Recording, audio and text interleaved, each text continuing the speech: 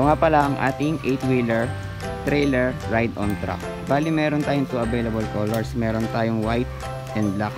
Bali yung truck na to is good siya for kids. 2 to 10 years old with weight capacity of 60 kg. Then makikita natin dito, lahat ng tires niya is EVA foam. Then yung kanyang pintuan, na-open siya.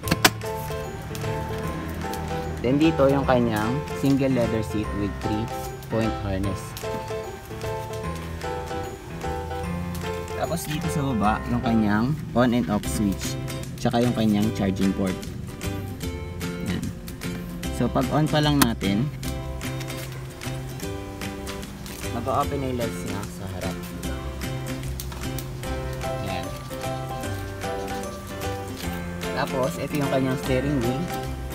So meron siya ditong beep and music. Kailangan lang lagyan ng battery dito. Ng extra battery. Tapos dito, para ma-open yung musical features, kailangan natin yun dito. Para makaanda.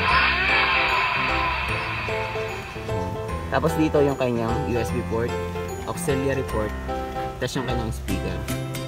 So ito yung uh, kanyang musical features, meron siyang reading. So pwede siyang lakasan, tsaka hinaan. ABC Music. Tapos dito yung forward. Tapos yung backward niya. Tapos ito yung kanyang play and pause button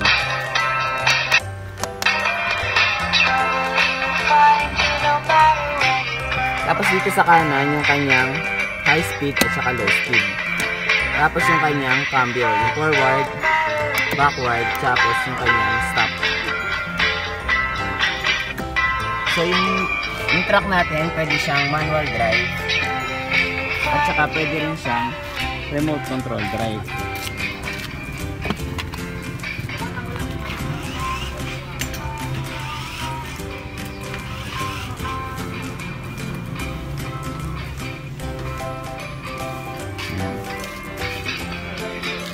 Then dito, ito yung kanyang container.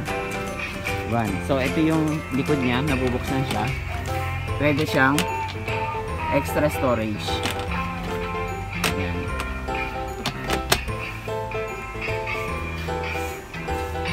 So once again, ito ang ating 8-wheeler trailer ride-on truck.